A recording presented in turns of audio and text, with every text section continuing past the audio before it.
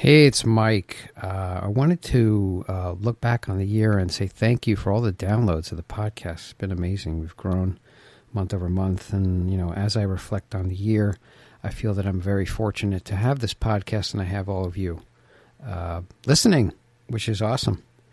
And what I wanted to do uh, was to put together and, you know, re release the best of what I think are the best episodes of the year. There's many more, but these are these are some that I wanted to release during the holiday period for your convenience, and I wanted to wish you and your families a uh, a great holiday season and a healthy and prosperous new year as we go onward on our journey.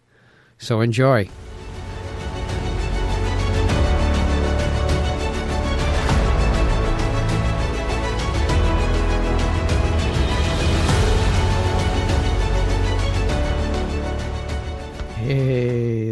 Mike at Craft Beer Storm, also founder brewer at Beara Brewing Company in glorious Portsmouth, New Hampshire. We have a, a special guest. We have Mitch Steele. He used to be the brewmaster at Stone Brewing, right? They did some amazing stuff. They're still doing amazing stuff, but now he's moved on. He, he's at New Realm Brewing, which is in Atlanta, Georgia. And uh, they also have another location in Virginia. Virginia Beach, uh, making some awesome stuff. And uh, yeah, I wanted to get him on the podcast. I appreciate his time. Uh, we had a great conversation. So, um, but first, if do me a favor, please go on to iTunes, uh, give us a rating and review. Uh, you know, tell a, ten, a friend, tell ten friends, and you know, subscribe to our podcast. That's the only way we get the word out. Uh, we get up in the rankings. People notice us and it just fuels everything. Uh, but that, but the only way we can do it is if you help me out and and do this. Uh, downloads are going up, which is cool, but we need more, more of an effort. Um, I, I give you this stuff for free. I, do, I don't charge you anything. I don't sell you anything. I just want to bring you great quality content. Um, and we're doing that. And, um, you know, you're responding by the uh, uh downloads going up, which I appreciate. And I thank you. Uh, but we, we're to get to a place where we need to be. We got to have a lot more, more, uh, a lot more activity and uh, you know likes and uh, just I would appreciate it. All right. Anyway, I'm going to stop now, but we're going to talk to Mitch. Here we go. Hey, we're here with uh, Mitch Steele. How you doing, Mitch? I'm good, thanks. How are you? Yeah, I'm, I'm doing okay. I appreciate you uh, carving out the time uh, to talk to me today. Um, today's been nuts, man. I it's like All Star Day. I had I had the uh, brewmaster for Guinness before. Oh, nice. it was uh, Fergal. He used to be the um, the brewmaster there at uh, at Guinness, uh, but now well, he says he's still the you know he never retires or, but he he uh, you know he, he was there, and then we have uh, we had uh, Jason from Allagash. I just oh, got, cool. I just yeah. got off the phone with him, and now I have you. So I have like All Star, All Star Thursday, Thursday Thunder. That's what I call it. Cool. So hey, so I appreciate it, and maybe we can start off um, like your story, how you got started, you know, where you are now, and, and your journey. Maybe you can go into that. Yeah. Well, um, I guess I'll, I'll, start off. I've been I've been brewing professionally for over 30 years. Um, if you lump in the, the home brewing that I did before I started brewing professionally, it's been about uh, 35, 36 years. Um, and uh, I I went to school at the University of California Davis, which has a really great and world-renowned winemaking program. But they also had a brewing program there that I didn't know about until after I got there. And so I was taking some winemaking classes, and I found out about the brewing classes and just gravitated over to that and uh, graduated in 1984 with a fermentation science degree, uh, which covered winemaking and brewing, which was cool. Um, did winemaking for a bit after I got out of school, and then uh, got on with a startup craft uh, pub brewery in California, just south of the Bay Area, called San Andreas, and I spent four years there. Uh, when we were brewing kind of kind of uh, lower alcohol, sessionable English style ales English style being kind of what everybody was doing back then when they were opening up brew pubs. But uh, San Andreas um, sounds scary, right? Maybe it's on the fault there. yeah, well, the, the town we were in was Hollister, and it, it, Hollister's nickname is the earthquake capital of the oh my world. god! two of the two of the biggest faults in California right run right through the center. Did of town, anything so- happen while you were there? I mean, any earthquake? Oh yeah, yeah. Well, the the big Loma Prieta quake in '89 happened there, and it shut down, the town down for about a week and did a lot of damage. So, you Oh, know, I've been man. through some pretty nasty earthquakes. Uh, they're not fun. No. but anyway, I spent four years there, and then uh, uh, decided I really, and, and it was never going to be, I don't think, a career for me. It, it, at this place, it just, you know, we weren't making enough beer for that. But uh, I, I ended up moving on to Anheuser Busch and um, in 1992, and moved to Colorado, and was a shift supervisor at their big brewery in Fort Collins, and um, you know, enjoyed that job. I my goal, you know, when I joined Anheuser Busch was just to learn how to how to run a brewery and how to manage a brewing process. I because they are the best in the world at at, at managing brewing processes and making sure the beer tastes the same every single right. batch. The quality control. Yeah. Yeah, so you know, I learned a heck of a lot about that. I I, I told myself I'd you know I'd do it for five years minimum and learn as much as I could, and then maybe get back out into craft, which is what I really wanted to do. And I ended Okay. up staying at AB for 14 years. Uh, Oh wow. had a really good career there. I did new product development for a few years, and uh, my last few years at Anheuser Busch, I, I was in New Hampshire working at the Merrimack Brewery Right. um, and enjoyed that a lot. And uh, might not have left if they had told me I could have stayed in New Hampshire for the rest of my life, but that wasn't going to happen. They were going to move me. Move so you around. Yeah. yeah. so um, in 2006, I uh, I took a job with Stone. Um, at the time, it was a head brewer position, and over a few years I was there as I took on more responsibilities. It became a brewmaster position, and I I spent 10 years at Stone. So uh, uh, just a, a wonderful experience. Yeah. Um, got to do so many cool things at Stone, and Oh yeah. and then um, and then these guys approached me uh, about doing New Realm in 2016, and uh, I made the very tough decision to leave Stone and and join up with these guys, and and Right. I've been doing this ever since. But now your your time at Stone was really epic. I guess you came up. You had the enjoy enjoy by IPA, right?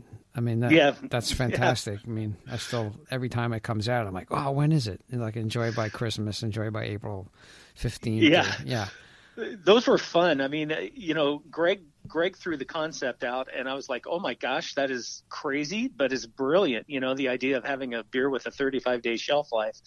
But you know, we were trying to make a point, and uh, and he pretty much let me do whatever I wanted to do with the formulation of the beer. I, you know, I just I was in the middle of writing my book on India Pale Ale at the time, right. and I had this this this big document that had all these tips from all the a lot of brewers that I really really respect about how they brewed double IPAs. And I said, Greg, let, I, what I'd like to do is take the best I see here on this sheet and incorporate all of it into into this beer. And he's like, as long as the beer tastes great, I don't care what you do. Ah, right. He's just letting you go, right? Yeah. And now Yeah, your so book, he- just, he to, pretty much just, let me go. just to let everybody know, it's called IPA Brewing Techniques, Recipes, and the Evolution of the India Pale Ale, which is just the IPA style. Is just it won't go away. It's just getting more and more people. I think the pro- the thing is like people are coming off these watery beers, and they're discovering these IPAs like more and more. So this style just like just stays around. Yeah, you know, and it's become a real buzzword now. So that when people come in, they just say, "I want to try your IPA," and they don't really know what it what that means. Right. Um, uh, I mean, you know, uh, most beer drinkers do, but there are a lot of beer drinkers that I see that just, yeah, oh man, I should be drinking this craft beer, this IPA, you know, and and Right. without, and and I think what's helped with that is is the uh, the development of the New England IPA, which isn't as bitter as what I was brewing at Stone, you know. So you, you've got yeah. a beer that's yeah, it's it's very fruit forward and it's it's softer on the palate and it's not quite as abrasive. Um, and so it's not quite the acquired taste that a West Coast IPA was, you know, where where Yeah. people might not like them the first few times they tried them, and then and then kind of grew to like them. I think with the with the hazy IPAs, the New England IPAs, I think it's a it's it's a little bit more accessible, you know, which is which is a good thing for for brewers. Yeah. So right, and it's become uh, yeah these big milkshakes. They call them milkshakes now. They're very cloudy and uh, Yeah. the New England IPAs. But yeah, yeah, your your beers were um, at Stone. They were bitter, but they had this explosive hop you know character to them as well. I mean, you put you, Yeah. you must have lo- loaded them up, I guess, with hops and like what was the ratio? I guess it's like Uh, on a pounds per barrel basis on some of the beers. yeah, I, you know, most of the beers at, at Stone, um, I think we're in between two and three pounds per barrel, kind of on average. Mhm. Uh, the dry hopping was, you know, when I got to Stone, it was, you know, three quarters of a pound to a pound and a half per barrel, and, and some of the beers two pounds per barrel. Um, and we didn't start venturing into what a lot of people are doing now with the five and six pounds per barrel until we got to things like Enjoy By. Um, Enjoy By is, has a lot of hops in it, and um, you know, and every you know, and this is something that as as these IPAs developed over time, this is something I saw a lot of people doing, and I remember talking to Julian Shrago at at Beachwood uh, Brewing and Barbecue in, in Long Beach, and I think he's an amazing brewer and brews some of the best IPAs I've ever had. And he he told me flat out, he said he won't even consider dry hopping anything at less than two pounds per barrel, which you know back when I first started dry hopping beers, a quarter pound per barrel, half pound per barrel was the going rate, and now it's now it's huge. right. Yeah, well, You that's, know, and- that's the whole thing. I mean, a lot, a lot of the late additions in the uh, in the boil. Yeah. Um, we do that here. I mean, I don't. I used to do it in the beginning. They were kind of bitter, but now everybody wants, you know, like late, like five minutes left or ten minutes left. Just throw everything in.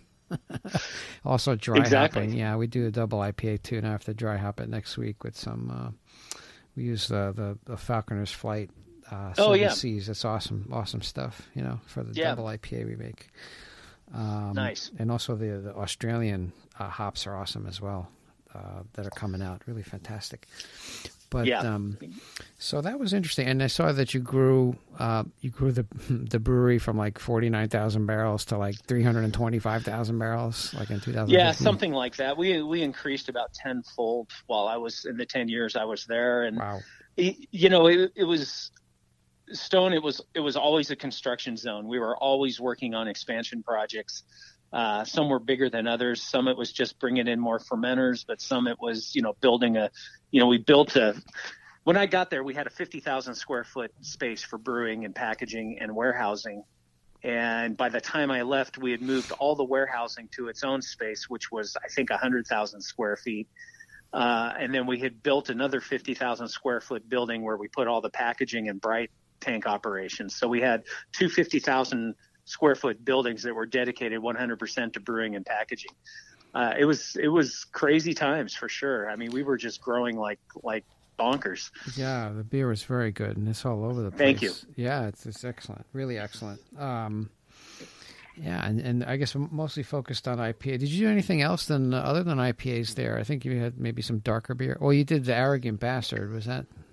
Oh, sure. Yeah, we we did a lot of different beers. The one thing that Greg really wasn't interested in was doing classic styles unless they were really boldly flavored. So, you know, some of the lower alcohol sessionable type beers, he he didn't have a lot of interest in, in doing that. But we did focus on IPAs, but we also did a, a number of Belgian beers. Um, we did a series called Vertical Epic where we came out with a new Belgian uh, recipe every year. Um, we uh, you know, we did uh, a number of imperial stouts. We did a series of beers that we brewed with home brewers that, you know, we picked their recipe during a contest and uh, it was part of the Brewers Association, uh, um, um uh, the homebrew, um, the homebrewers part of the Brewers Association. We were Okay. doing membership rallies for them and we had a contest every year that the winning winning homebrew we picked and would brew that beer on our system. And so there was a lot of different things that we did there. But, uh, you know, I think the one thing that characterized all of our beers uh, at Stone and probably still does at Stone because they're still kind of carrying on with with this for sure. But you know, just really boldly flavored, aggressively flavored beers, and it doesn't mean harsh or undrinkable, but just beers that are packed with flavor. And that was that was something that was always part of what Stone tried to do. Right, and they've succeeded. You know. Uh, big time, you know. I mean, I always when you get a Stone beer, and whenever it's on tap, I just order a Stone beer. You know, you, you don't. we don't have your. Uh, oh, I used to do it, but New Realm is not really. You're not really widely distributed, right? You're in. No, no, we're not. We're when we started this company out, we didn't have any aspirations to try and become a uh, even a, a, national brewer or even a, a, large regional brewer. We wanted to stick our beers, uh, have them stick pretty close to home, and really, really be kind of focus on our local audience. And so right now, um, you know, we have two breweries. We we have the original brewery in Atlanta, and we distribute beer um, throughout the state of Georgia. But I'd say a, a, huge percentage of, of the beer that we send to distribution is is uh, makes its way to Atlanta Metro and and is in the Atlanta Metro region. Um, we send bits and pieces down to southern Georgia to Savannah and and and some other spots, uh, Athens and things like that. But I think most uh, almost all of our beer stays pretty close to the Atlanta Metro area. Right, and and and New Realm was interesting. Like you left, I guess, uh, a group of uh, individuals approached you. I guess at Stone and said, "Hey, we want to start a brewery." And are you still living in yeah. California still, or where? Yeah, uh, yeah, for a few more months. I uh, oh. uh, my daughter is a senior in high school in California, oh. and part of the deal when I took this job was that I wasn't going to move until after she graduated high school. So, um, so I've been commuting uh, from California to Atlanta or Virginia Beach uh, just about every week this year. Wow. Um, you know, it didn't start off. It started off kind of like an every other week thing, which was pretty easy compared to what it is now. But um, you know, I've I've got till June, and then um, and then we'll pick up and move east. You started, I guess, the New Realm started a couple years ago, or last year, or was it two years? So ago? we opened, we opened in January of 2018. Oh, okay. Uh, we started brewing in November of 2017. Right. The the company was founded several years ago. I joined in 2016 uh, in July, and that's when we found our location for our Atlanta brewery was was that month. Um, and it took us a year and a half to get that up and running. Yeah, it's very interesting. Oh, it's across the country. Wow, you had to go all the way across. But I mean, uh, the Virginia Beach location is interesting. I think was that the one that Green Flash was going to open, and then you guys went yep. into it, or it is, it is.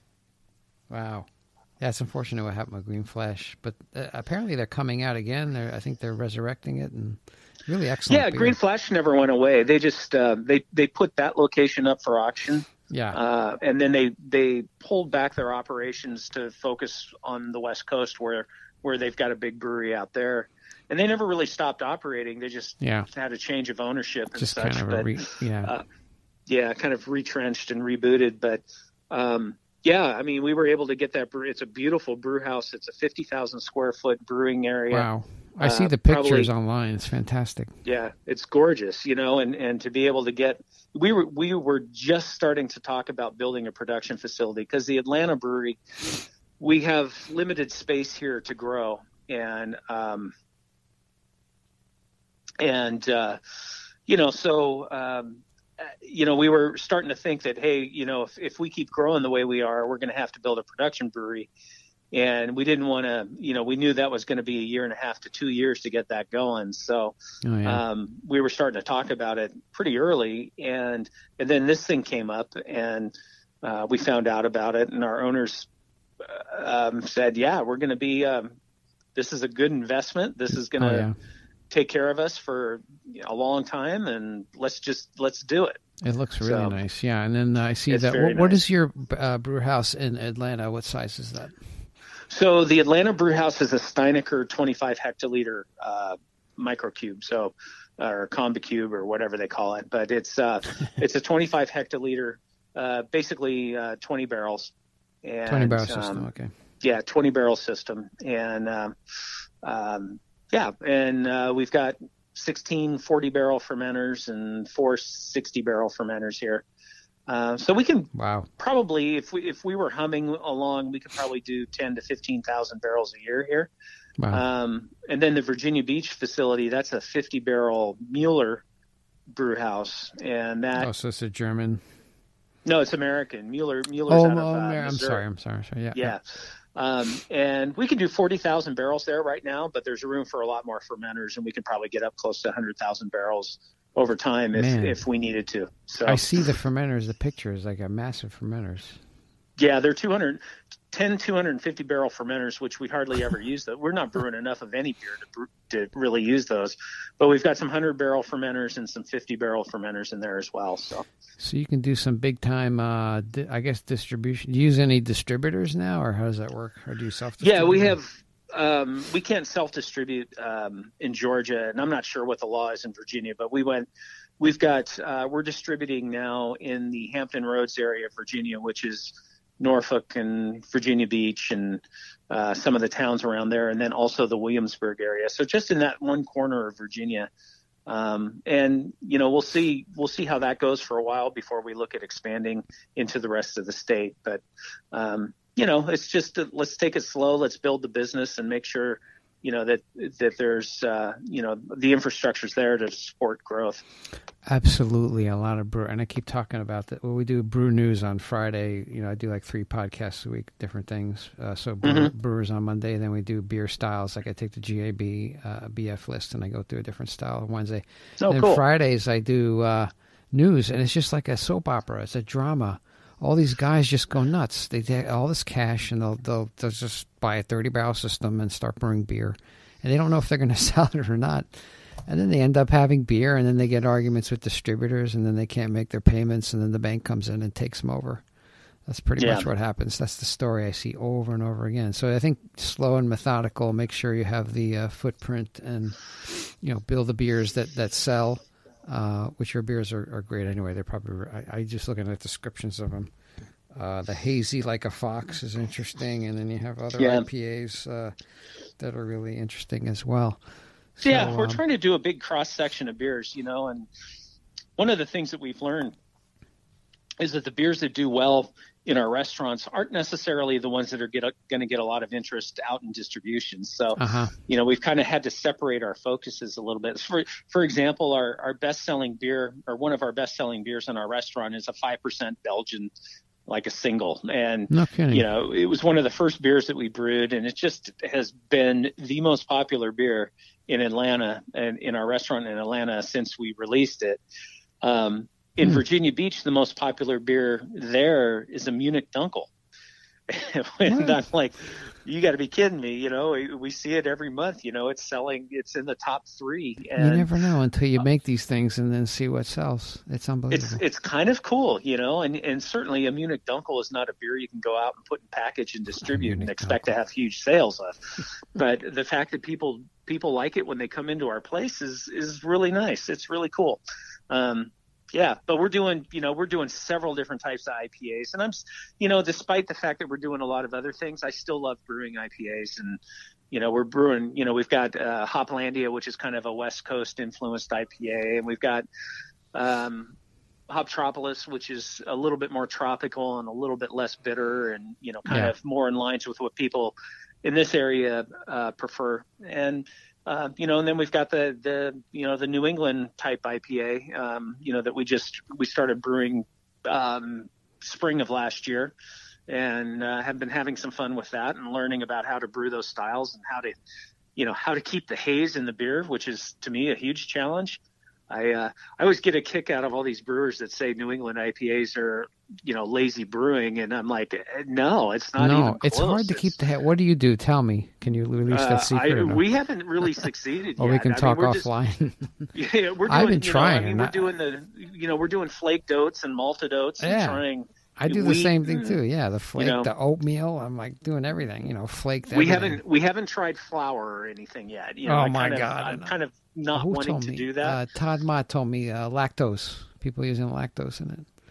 Yeah, we we use lactose in ours as well, milk sugar, just to keep the gra- you know the keep With it kind gravity. of full bodied and and yeah. and keep the terminal gravity up a bit. But yeah, it's um you know it's just one of those things where it's it's you know, on the surface, people think it's it's just kind of taking shortcuts. And and as I've learned about this style, it's like no, there's a lot of technique involved here, and the people that do it well are very good at it. And and there are a lot of people that don't do it well. And you know so yeah. I i it, i found it from a brewing perspective and for me it being kind of a um, you know kind of a technical oriented brewer i i find them fascinating as as a style You know, it's Right. just really interesting to see how everything happens in those beers and and and how different they are from what I was brewing at Stone. Right. I talked. I talked to Greg uh, Kimmich up in uh, an Alchemist. I did a podcast with him, and he he said my beer, you know, it turned out hazy, but I didn't really mean it to to be that way. Yeah, but but people look at his beer and they say, oh yeah, that's a hazy IPA, a New England IPA. He's like, nah, it's just my beer. I like I like you know I like the hops, and I make the beer the way I want, and it just comes out hazy. Yeah. But and his, his beer's great. You know, it's Oh, yeah. been one of my favorites for a long time. Oh, the heady topper, and he, the hops he got this year, he says are out of control. Actually, I had some. I just had some recently. Somebody brought me some, and it's really good. Like the the version that he had, because it's like wine, I guess, with grapes, right? You know, one year Yeah. you can have a great harvest, the next year it could be like, eh, you know. But but it's the same thing with hops as well. Yeah, well, it- really helps to go out and, and do selection in September with the, at the hop suppliers, and Oh. you know if you're a big enough brewery and you can do you can do that and you get the invite to go do it. Um, you, that way you get your pick. You know, you Yeah. you get to select from you know several different lots, and you can pick which one you think is going to work best in your beers. Oh beers, my and god! so worthwhile. But you do that. I guess they you go you you fly out. Well, you're out in California anyway. Do you go up to like Oregon or something or? And, and Yeah, I ha- I haven't actually done it in a couple of years, so Oh, okay. um, I'm I'm looking to get back into it next year. So yeah, cool. yeah. Excellent. But your uh, your beer is excellent. I, I have to try the, your uh, new realm. Where did the uh, new realm come from? The word. Um, Oh, that's that's funny. Um, you know, we when I when I joined Bob and Carey, they already had gone through uh, piles of names, ideas, you know, and and we decided pretty early on that we weren't going to try we weren't going to try and use a name that somebody else had, had used either for a beer or for a brewery.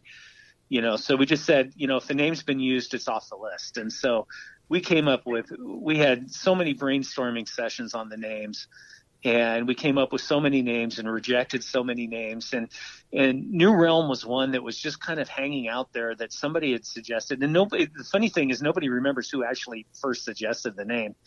But you know we didn't find it there was no problem with the name um, but we didn't initially gravitate towards it. So it just kind of was on the perimeter of all the names and and kind of out there. Um, and as we kept going through this and kept getting very frustrated with the fact that we couldn't agree on a name or find a name that hadn't already been used, um, that name came came up again and again, and eventually we started talking about it in a little more in depth and realized that you know for us personally, you know this all of us came from long careers with other breweries.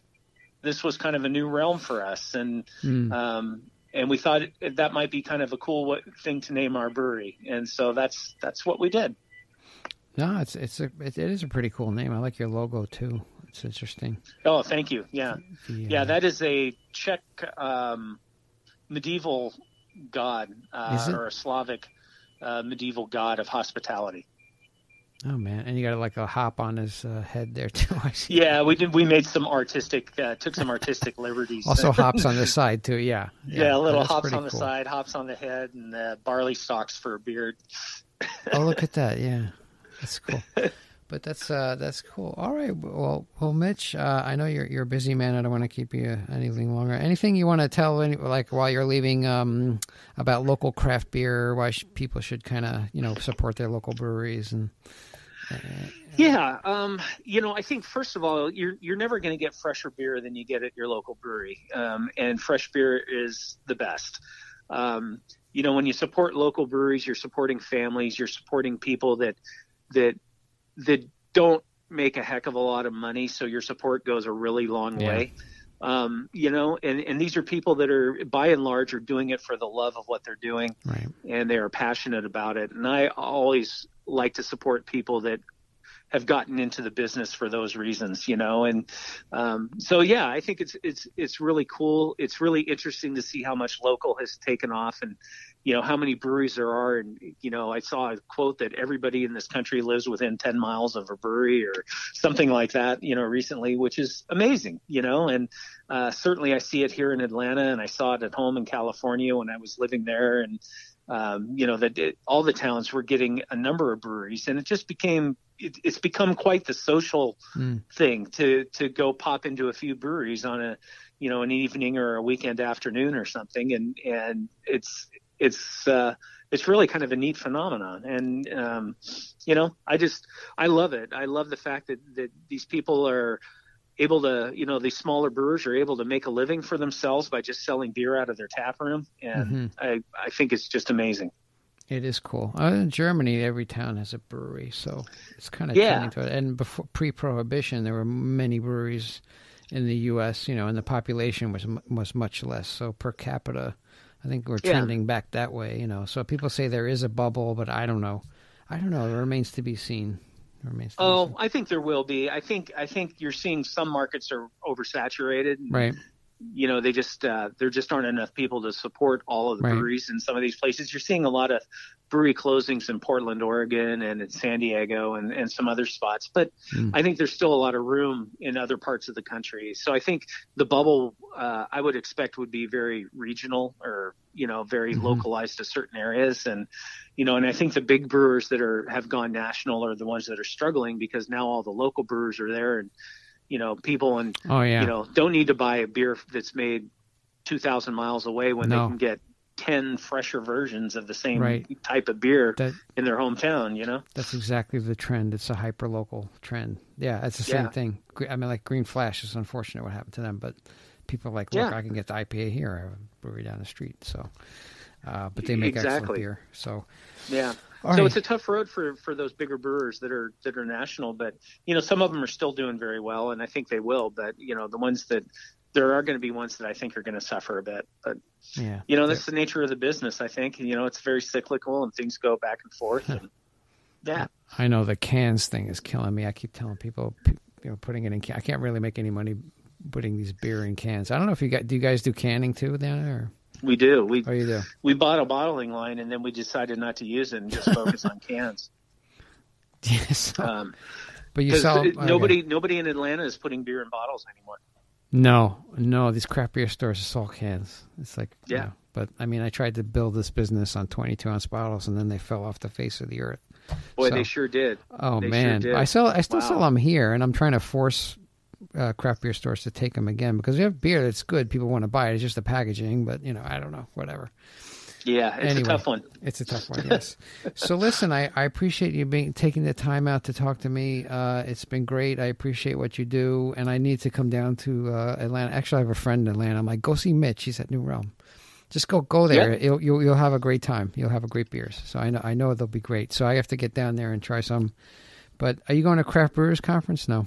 Yeah, I will. oh, there. you are. So maybe I'll bump into yeah. you there. I got a media pass. Hey, okay. a media. I have a podcast, right? They gave me a media pass. nice. so nice. that's awesome.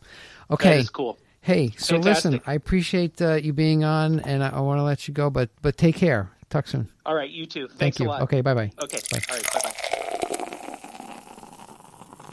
Yeah, that was Mitch Steele. He was the former brewmaster at Stone Brewing, who's doing they did some fantastic stuff, and uh, now he's at New Realm Brewing uh, in Atlanta.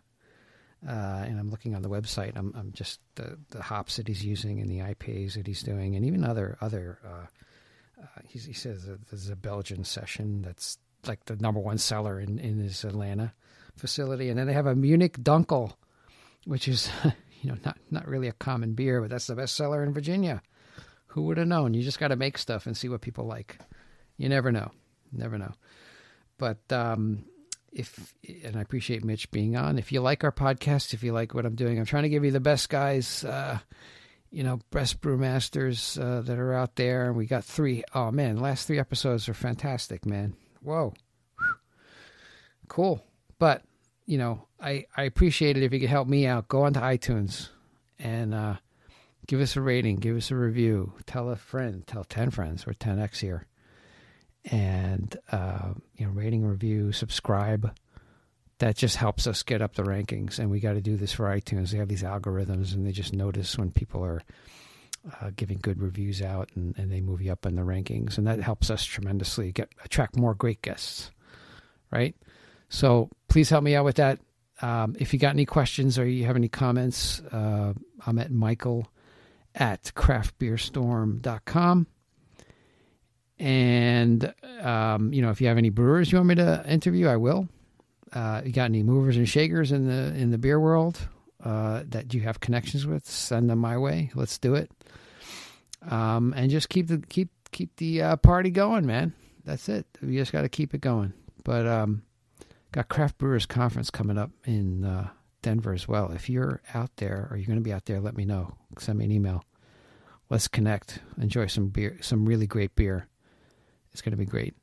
Okay, guys, um, that's all I have for today. We'll see you Wednesday for Beer Styles uh, episode. All right, take care.